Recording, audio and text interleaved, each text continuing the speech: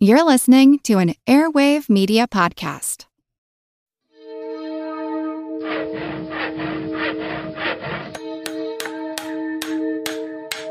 Monster House presents. Monster Talk's a proud member of the Airwave Media Podcast Network, home of such shows as Kick Ass News, Movie Therapy, and Therapist Uncensored. If you'd like to advertise on the show, contact sales at advertisecast.com.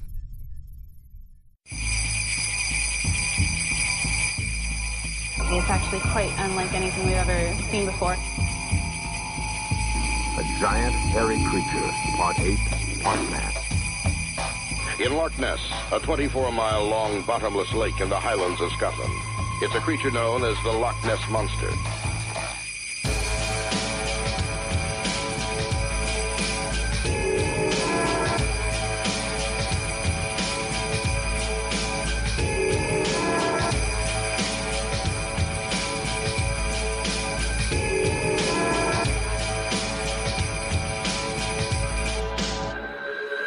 Monster Talk.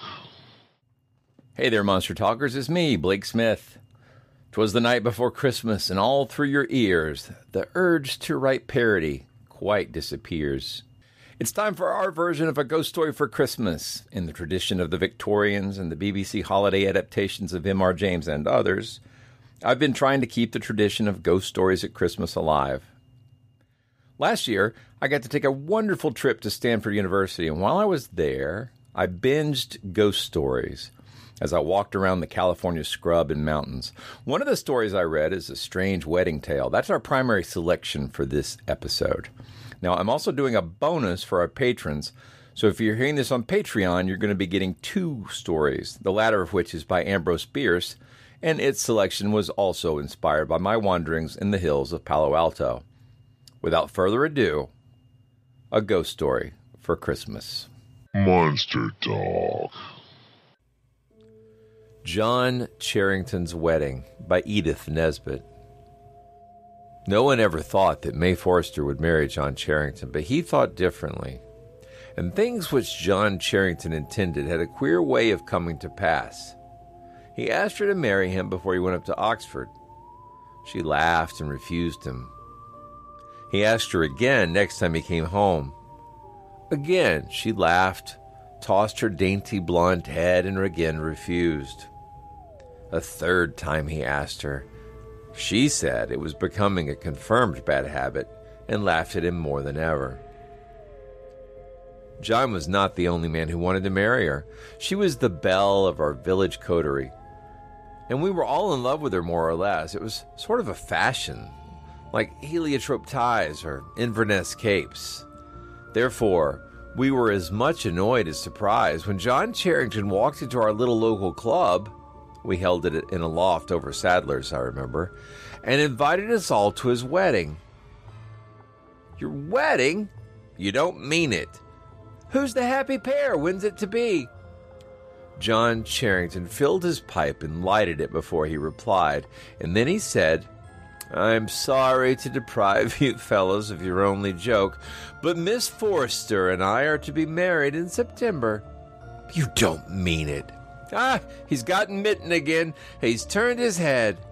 No, I said, rising. I see it's true. Lend me a pistol, someone, or a first class fare to the end of nowhere. Charrington has bewitched the only pretty girl in our 20 mile radius. Was it mesmerism or a love potion, Jack? Neither, sir, but a gift you'll never have perseverance, and the best luck a man ever had in this world. There was something in his voice that silenced me, and all chaff of the other fellows failed to draw him further. The queer thing about it was that when we congratulated Miss Forrester, she blushed and smiled and dimpled for all the world as though she were in love with him and had been in love with him the whole time. Upon my word, I think she had. Women are strange creatures. We were all asked to the wedding. In Brixham, everyone who was anybody knew everybody else who was anyone. My sisters were, I truly believe, more interested in the trousseau than the bride herself, and I was to be the best man. The coming marriage was much canvassed at afternoon tea tables and at our little club over the Saddlers, and the question was always asked Does she care for him?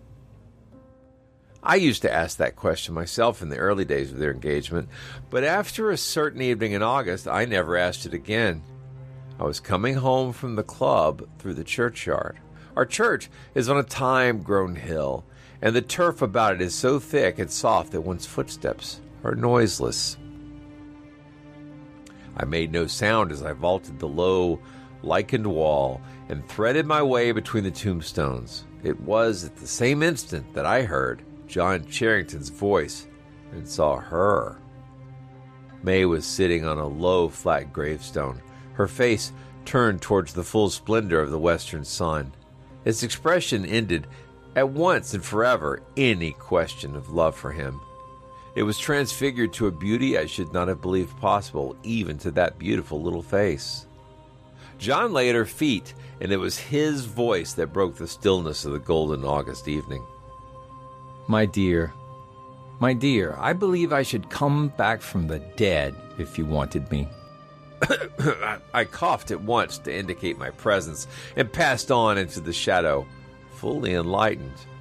The wedding was to be in early September, two days before I had to run up to town on business. The train was late, of course, for we were on the Southeastern, and as I stood grumbling with my watch in my hand, whom should I see but John Charrington and May Forster? They were walking up and down the unfrequented end of the platform, arm in arm, looking into each other's eyes, careless of the sympathetic interest of the porters. Of course, I knew better than to hesitate a moment before burying myself in the booking office, and it was not till the train drew up at the platform that I obtrusively passed the pair with my Gladstone and took the corner in a first class smoking carriage. I did this with as good an air of not seeing them as I could assume. I pride myself on my discretion, but if John were traveling alone, I wanted his company. I had it. Hello, old man, came his cheery voice as he swung his bag into my carriage. Here's luck. I was expecting a dull journey. Where are you off to? I asked, direction still bidding me turn my eyes away, though I saw without looking that hers were red rimmed.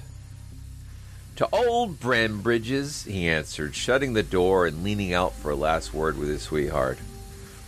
Oh, I wish you wouldn't go, John, she was saying in a low, earnest voice. I feel certain something will happen. Do you think I should let anything happen to me and the day after tomorrow, our wedding day? Don't go, she answered, with a pleading intensity which would have sent my Gladstone onto the platform and me after it, but she wasn't speaking to me. John Charrington was made differently. He rarely changed his opinions, and never his resolutions. He only stroked the little ungloved hands that lay on the carriage door. I must, May. The old boy's been awfully good to me, and now he's dying, and I must go see him. But I shall come home in time for. The rest of the parting was lost in a whisper and in the rattling lurch of the train starting. You are sure to come, she spoke as the train moved. Nothing shall keep me, he answered, and we steamed out.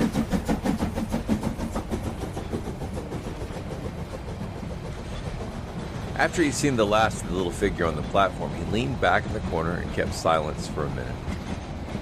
When he spoke, it was to explain to me that his godfather, whose heir he was, lay dying at Peasmarsh Place, some fifty miles away, and he had sent for John, and John had felt bound to go. I shall be surely back tomorrow, he said, or if not, the day after, in heaps of time. Thank heaven. One hasn't to get up in the middle of the night to get married nowadays. And suppose Mr. Brembridge dies? Oh, alive or dead, I mean to be married on Thursday, John answered, lighting a cigar and unfolding the Times.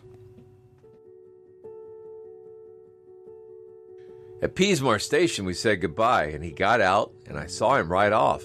I went on to London, where I stayed the night. When I got home the next afternoon, a very wet one, by the way, my sister greeted me with, Where's Mr. Charrington? Goodness knows, I answered testily. Every man since Cain has resented this kind of question. Oh, I thought you might have heard from him, she went on, as you're to give him away tomorrow. Isn't he back? I asked, for I had confidently expected to find him at home. No, Geoffrey. My sister Fanny always had a way of jumping to conclusions, especially such conclusions as were the least favorable to her fellow creatures. He's not returned, and what is more, you may depend upon it, he won't. You mark my words, there will be no wedding tomorrow. My sister Fanny has a power of annoying me which no other human being possesses. You mark my words, I retorted with asperity. You had better give up making such a thundering idiot of yourself. There'll be more wedding tomorrow than ever you'll take part in. A prophecy which, by the way, came true. But though I could snarl confidently to my sister, I did not feel so comfortable when late that night I, standing on the doorstep of John's house, heard that he had not returned. I went gloomily through the rain. Next morning brought a brilliant blue sky, gold sun, and all the softness of air and beauty of cloud as go to make a perfect day. Next morning brought a brilliant blue sky, gold sun, and all such softness of air and beauty of cloud as go to make up a perfect day. I woke with a vague feeling of having gone to bed anxious and of being rather averse to facing that anxiety in the light of full wakefulness. But with my shaving water came a note from John which relieved my mind and sent me up to the Forsters with a light heart. May was in the garden. I saw her blue gown through the hollyhocks as the lodge gate swung to behind me. So I did not go up to the house, but turned aside down the turfed path. He's written to you too, she said without preliminary greeting when I reached her side.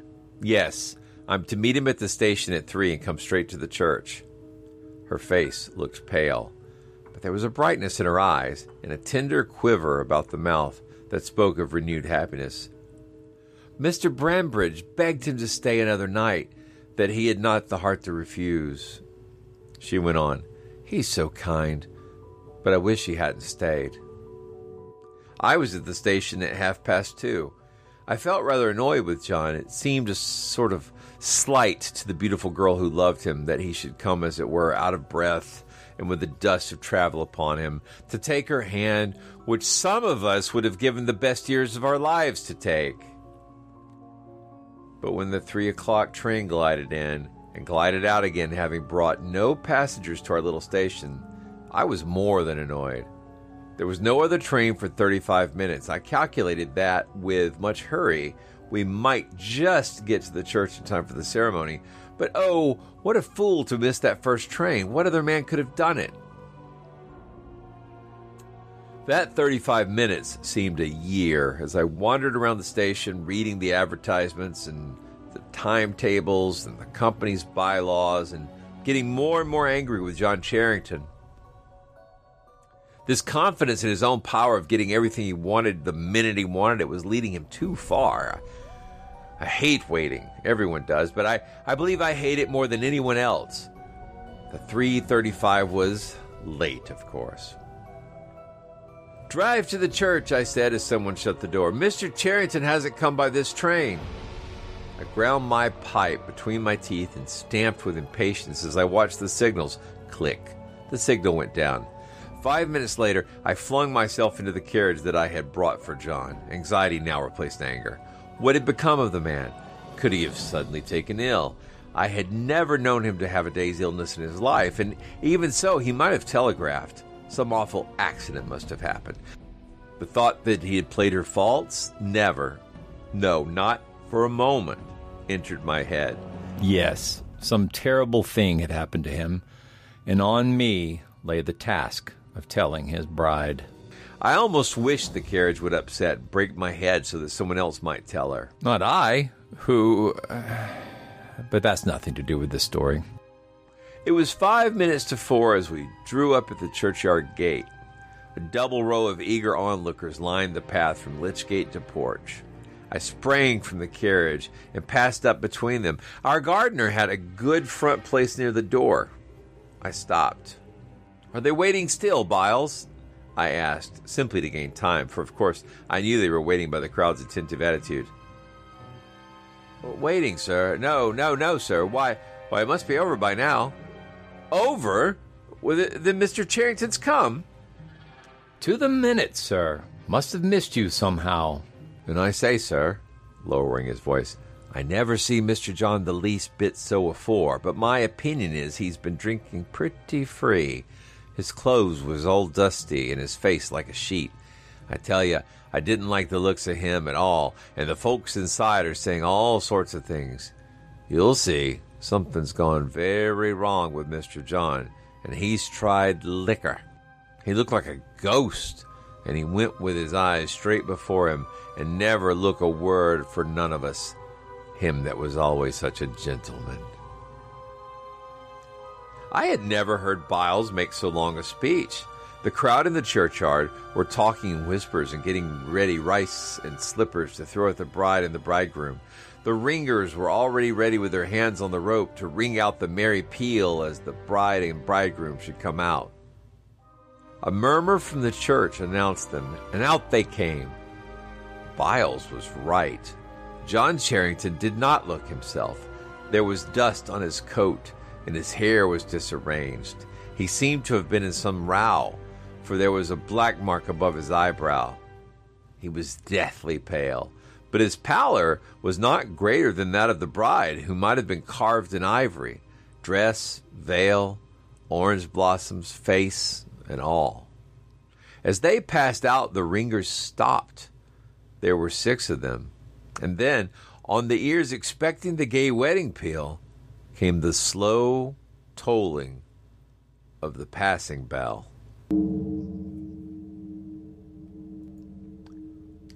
A thrill of horror at so foolish a jest from the ringers passed through us all, but the ringers themselves dropped the ropes and fled like rabbits out into the sunlight. The bride shuddered, and gray shadows came about her mouth. But the bridegroom led her on down the path where the people stood with the handfuls of rice. But the handfuls were never thrown, and the wedding bells never rang, in vain, the ringers were urged to remedy their mistake. They protested with many whispered expletives that they would see themselves further first. In a hush like the hush in the chamber of death, the bridal pair passed into their carriage, and its door slammed behind them. Then the tongues were loosed, a babble of anger and wonder, conjecture from the guests and the spectators. If I had seen his condition, sir, said old Forster to me as we drove off, I would have stretched him on the floor of the church, sir. By heaven, I would, before I'd have let him marry my daughter. And then he put his head out the window. Drive like hell, he cried to the coachman. Don't spare the horses. He was obeyed. We passed the bride's carriage. I forebode to look at it, and old Forster turned his head away and swore. We reached home before it, we stood in the doorway in the blazing afternoon sun, and in about half a minute we heard wheels crunching on the gravel. When the carriage stopped in front of the steps, old Forster and I ran down. Great heaven, the carriage is empty, and yet. I had the door open in a minute, and this is what I saw no sign of John Charrington, and of May, his wife, only a huddled heap of white satin lying half on the floor of the carriage and half on the seat. I drove straight here, sir, said the coachman, as the bride's father lifted her out, and I'll swear no one got out of the carriage. We carried her into the house in her bridal dress and drew back her veil. I saw her face. Shall I ever forget it? White, white and drawn with agony and horror, bearing such a look of terror as I have never seen since except in dreams. And her hair, her radiant blonde hair, I tell you it was white like snow. As we stood, her father and I, half mad with the horror and mystery of it, a boy came up the avenue, a telegraph boy. They brought the orange envelope to me, and I tore it open. Mr. Charrington was thrown from the dog cart on his way to the station at half past one, killed on the spot. And he was married to May Forster in our parish church at half past three, in the presence of half the parish. I shall be married dead or alive. What had passed in that carriage on the homeward drive? No one knows. No one will ever know. Oh, May. Oh, my dear.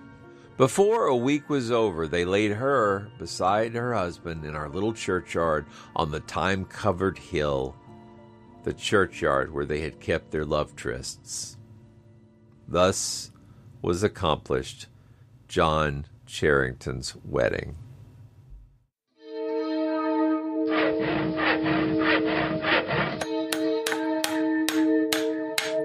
This has been a Monster House presentation.